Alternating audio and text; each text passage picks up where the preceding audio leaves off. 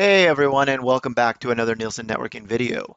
In this video I'm going to follow up on a video I created a little bit ago uh, where we went over the Win Verify Trust Signature Validation vulnerability and we went over how to create a registry key that would remediate the vulnerability. So taking that, what I want to do now is follow that up for those of you that are on Microsoft Intune. Uh, I want to follow that up and deploy that fix using Microsoft Intune and Win32 apps. That said, those of you that aren't on Microsoft Intune may want to stick around because a lot of what we're going to go over, you may be able to then um, translate this into whatever you are using, um, at least the process. Uh, maybe not the exact code we're using, but you know what? You, you, you should get something out of it.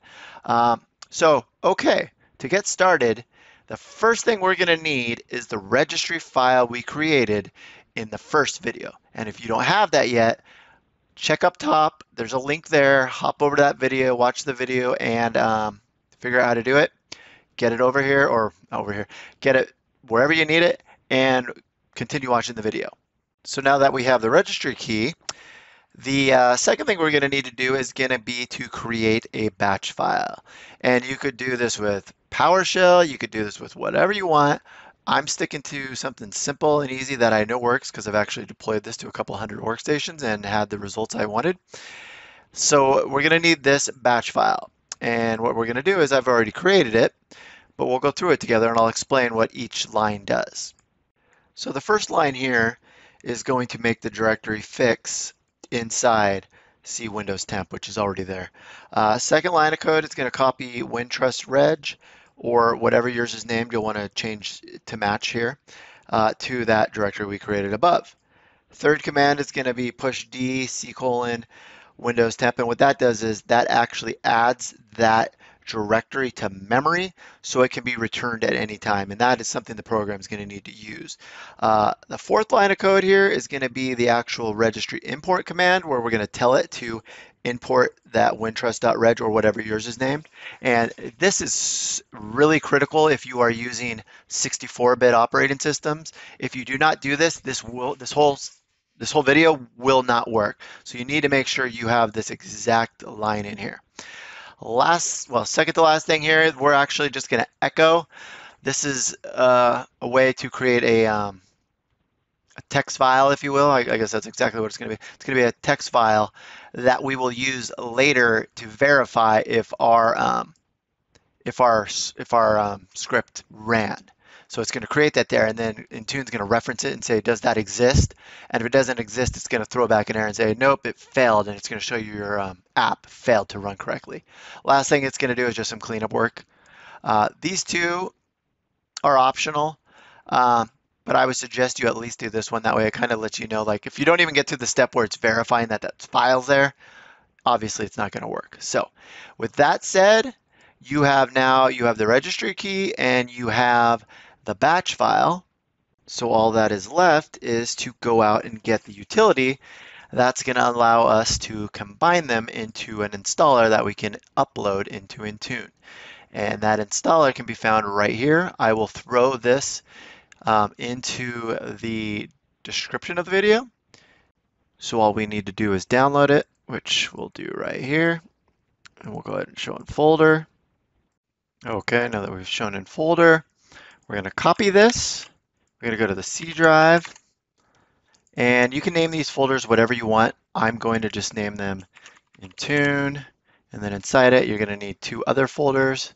Again, anything you want to name it. I'm just naming it something that makes sense to me. Um, and in the source, we're going to want to put that guy. Then we're going to need to get these two. We're to need to go back to source, put those there. And just to review, we have our batch file, we have a registry file, and we have our Intune WinApp utility that's going to combine these all and get us the executable we need for Intune. So how do we do that? And it's actually pretty easy. We're going to go ahead and run this. Move this over here so I can see.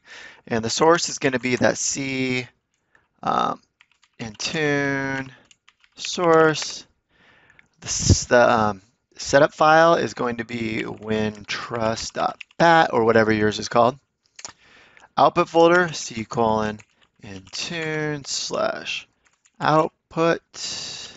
Do we need a catalog? And we're going to say no.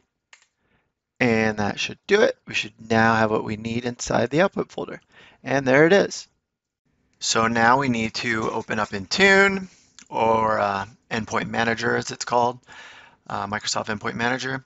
And you're going to want to go to Apps, Apps, All Apps, Add App. We're going to go down here to Win32, select, select the package. Should go right to where I was. So you're going to want to go and click that on, you know, wherever it was in the output folder. Hit OK. Rename it whatever you want to name it. And you could change the description if you wanted to. Publisher, put whatever you want. And then next. And install command. This is important. You need to copy um, the name of the batch file.